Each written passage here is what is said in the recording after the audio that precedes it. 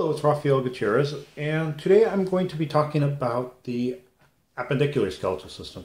There are some stuff that is really important for you to know uh, before we even look at it, and I am going to use my uh, lab manual to help me out.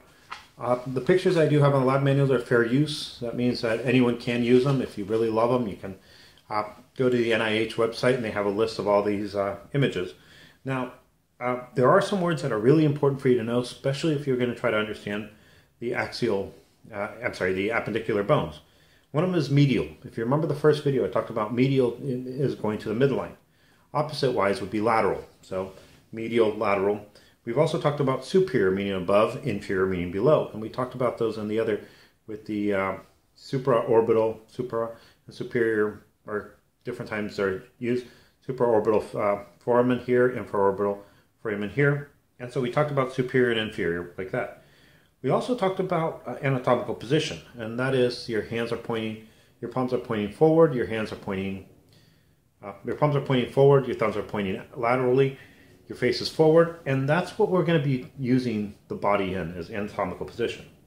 The other one that's really important for you to know is the difference between proximal and distal. Proximal again means closer to the midline, distal meaning away from the uh, away from the torso. Proximal is closer to the torso, just away from the torso. And then the other thing I want you to know is what articulations are. Now, articulations are pretty much joints. Now, before we talked about sutures, and I did kind of mention the temporal mandibular joint, which is a joint between the um, mandible and the temple, temporal bone. And you have you do have a little thing, you do have a joint there that's important for you to know. And I know I'm going fast because I, like I said, I want to keep this at less than 30 minutes if possible. Uh, and so I figure two minutes of introduction should help. So with that, I'm going to start showing you pictures and tell you what certain things mean. Thank you, and I hope you enjoy this. So the first bone I want to talk about in the appendicular system is this one here, which is called the scapula. Now, if you look at it, it has roughly the shape of a triangle. So it really does tell us, really does give us a different way to look at it. Now I'm going to get a piece of paper I'm just going to draw a triangle. So, if we have a triangle and we have the spinal cord down here, this area here could be called the medial border.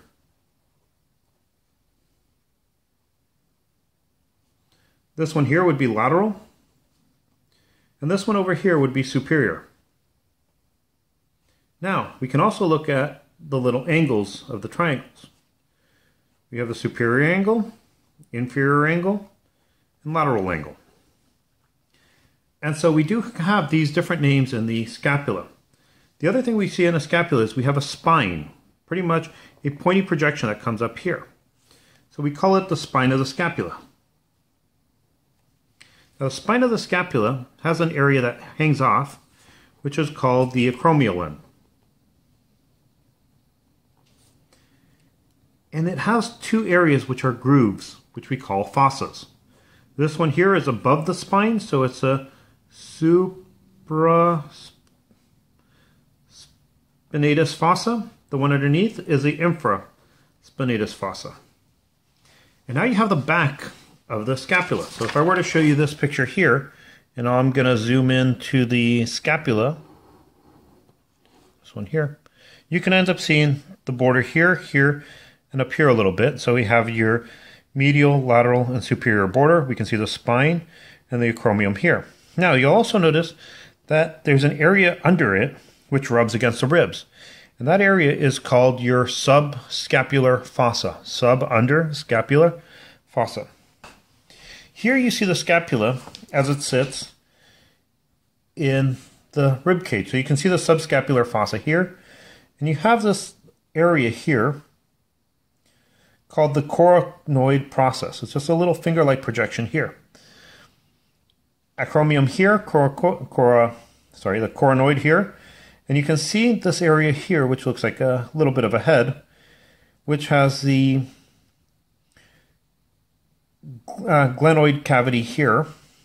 Glenoid cavity is this area here. And so we now have base, the basics of the scapula. Now, the reason I went to the scapula first is so we can now talk about this bone here. This bone here is your clavicle. And the clavicle has two ends. One is a flat end here, one is a bumpy end here. Now, I told you how this is a acromion. So this here would be your acromial end. And then this area here would be your sternal end. One of the things that's important, nice to see with the clavicle is that you can see how different things are. Now, the clavicle does have a groove and it does have a bump called the tuberosity, which you'll want to look at individually. Now, you also see in the glenoid cavity, you see this thing that looks like a head coming in here, and that's pretty much your humerus. I'm going to show you your humerus. There's your humerus. And what you'd see is you see this end here, which is a head, which fits, this is a head here, which fits into the glenoid cavity, making the glenohumeral joint. By looking at the other end here, you see these three lumps. This here is called your trochlea, and this one here is called your capitulum. And these are going to be important when we deal with the other bones too, so remember them. And you have fossas here, which I'll show you a little bit later. Now the other thing you have here is you have a little triangle shaped projection which is a tuberosity, and we call that one the deltoid tuberosity. We also have these two big lumps. So looking at the humerus here, you have the head, you have a neck here, neck here, the tuberosities. So you do have two necks. You have the surgical neck here. We also talked about if you actually look down here, you'll notice that there's a projection here, which is a tuberosity, which we call the deltoid tuberosity. So, so far we have the head, anatomical neck, surgical neck, greater tubercle, lesser tubercle, intertubercle fossa between it, uh, deltoid tuberosity. And as we go to the other side, we see this big area here, which is called the capitulum, and this area here called the trochlea. Now we also see that there's a fossa here and a little one here. So we have a capitulum, C, and a trochlea here. You can think of these as two paired round-shaped projections. So above them, you have your epicondyles. As you have two of them, you have an epicondyle here and here. This one here is pointing to the middle, so it'd be your medial epicondyle. This one here would be your lateral epicondyle. And that's actually the basics of the anterior portion of the humerus. We're to look at the posterior portion, we can, can see that one of the tuberosities. We can see the anatomical and surgical neck, the deltoid tuberosity here. We can see the medial epicondyle here, lateral here, and we can see the trochlea here. And we see a fossa here. And this fossa is called your, this fossa here is called your olecranon fossa. Now, the reason those are important is this. I told you about how you have fossas on the other side. One of them is, you can see here you have your radial, what's called your radial fossa, and over here you have your coronoid process, I'm sorry, coronoid fossa. So coronoid fossa is here, radial fossa is here. Now the reason those are important is if we are to look at the elbow joint, we can see this here. This bone here is the radius, this here is the ulna. If you look at the radial head, you'll see how it's flat, has kind of a rounded, it's, it is round. And it fits on the capitulum. And that fossa here is called the radial fossa because the radius fits into it. And that fossa here is called the radial fossa because the radius fits into it. On the ulna here, you have a little projection here called the coronoid process, and it fits into the coronoid fossa. And so that's why you can see what fits in where. When we look at the ulna, we notice that it goes straight and it gets thin. The radius gets bigger as it goes down.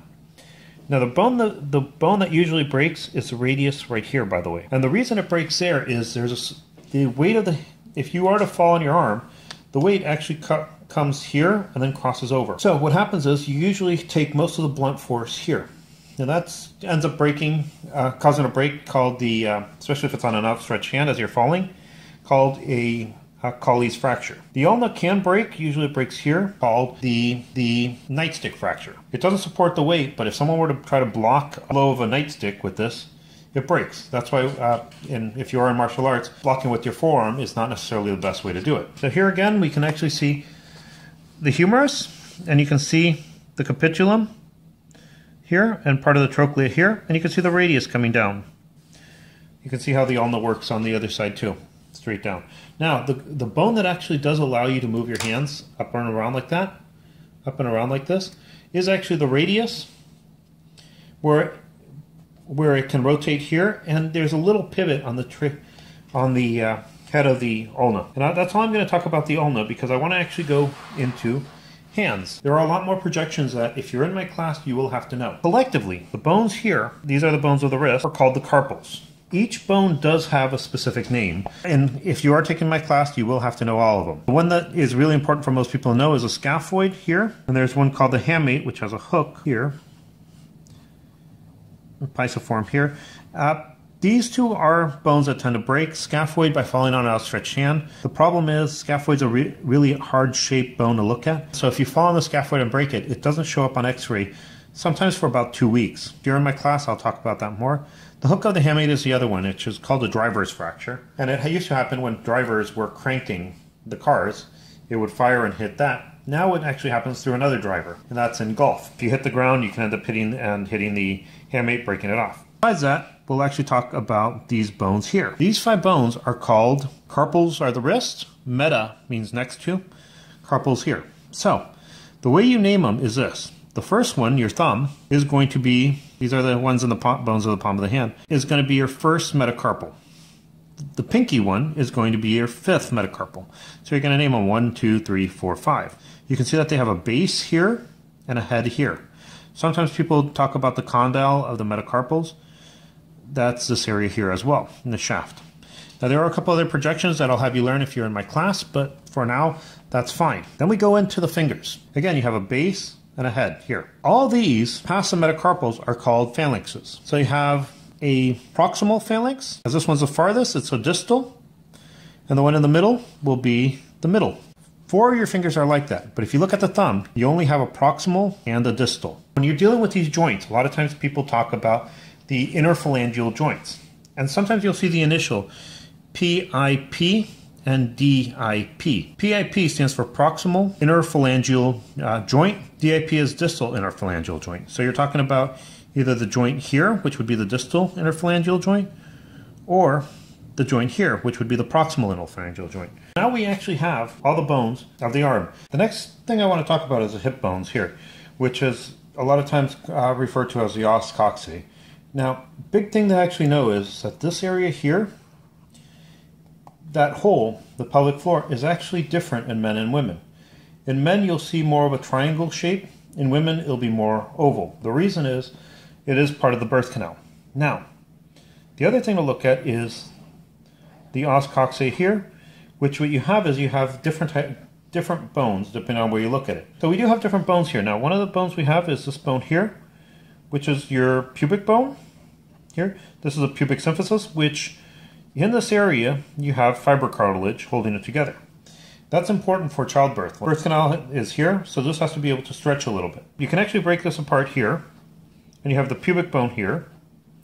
You then have the ilium, which is this bone here, and you have the ischium, which is this bone here. So ischium is the bone that you're actually going to sit on. Here you see the femoral head. You see the ilium, you see the ischium here. You can see a division here. You can see the pubic bone over here. So you can see all the bones. Now, one of the things is you do have an anterior and posterior. And the way you tell the anterior is the pubic bone is always going to be pointing anterior. And so this area is anterior. And one of the things you see in the ilium is you see two spines anterior superior iliac spine, anterior inferior iliac spine. Your posterior superior and your posterior inferior, which is hard to see in this picture, but it would be around here. This area here is the iliac crest, and the iliac crest is really important because it is a special landmark where if you follow it in a straight line to the other one and you go midway, you get to the lumbar region L4, L5. So we have your posterior superior, posterior inferior iliac spine. And then you have a spine here, which is part of the ischium. It's called the ischial spine. And you then have greater sciatic notch, your lesser sciatic notch. So the two sciatic notches. And you have a big lump on the back of the ischium, which is your ischial tuberosity. Like I showed you here, you have the head of the femur. And so we can see this head, the femur here. Now this area of the femur is the head, and this time we only have one neck, which is this area here. And we have a big lump here. Now this big lump has another lump on the other side here, which to some people look like a ship wheel. You have these little projections here. And these two have the same names. They are called the lesser and greater trochanters. So these two are the lesser and greater trochanters. Between the two current trochanters, you have what's known as a trochanteric line. In the back, you have this big, deep crest. So we call the intertrochanteric line here, intertrochanteric crest here. So we have the head, neck, intertrochanteric crest, intertrochanteric line, greater and lesser trochanters. We also do have a divot here. Just called the fovea capitis. And then we have, at the end, two round wheel-like projections, which I told you were condyles. If you notice, anytime you see those projections like that, it's going to be a condyle, doesn't matter where they are. And you have a wing-like projection on the side here and here, called your medial and lateral epicondyle. This one here is medial, as you can see. Here is the head, so medial epicondyle, lateral is over here. You can feel these two on your uh, knee. You can also feel the greater trochanter on the lower portion of your hip. And you have an air surface here, which is called the popliteal surface. If we turn it around, we have a surface here, which is called your patellar surface. And this is your patella. You can see that you have an, uh, an area to articulate here and another area and an apex if you're really into that type of Now, over here, what you're seeing is you're seeing the tibia, which is this long bone here, and the fibula. Remember, the fibula, fib is a small bone that lies lateral to the tibia. Now, the tibia you can feel to the tibia. Now, the tibia you can feel all the way down the medial portion of your leg. So always know that the medial bone is a tibia, the lateral bone is a fibula. And you can feel the tibia all the way down from your patella comes in in this lump called the tibial tuberosity, all the way down to this is a medial malleolus. So you can feel it from the tibial tuberosity all the way to the medial malleolus. If you have a medial one, you also have a lateral one, which is on the fibula. Now, you do have a flat surface of the tibia, and you have a area up there which comes up, which is your inner condylar eminence. You have your tibial plateau. You get down to the foot, we see that there are a lot of bones in the foot. Now, collectively, they are called the tarsals, and each one has its name. I'm just going to give you a couple names. So, for instance, this one here is a calcaneus. This one up here is a talus. If you were to see the entire foot, you'd see it, it looks like it'd be the one that is the highest up, so it looked like it might be the tallest. It's not. Just like in the hands, you have the metacarpals next to the carpals in the feet. These here are called your metatarsals, which are next to the tarsals. And the toes, just like the uh, fingers, were called the phalanxes. Again, you have the proximal and distal, and every other except for the big thumb. You have proximal, middle, and distal. That's the basics of skeleton. Hope you enjoyed this. Thank you very much.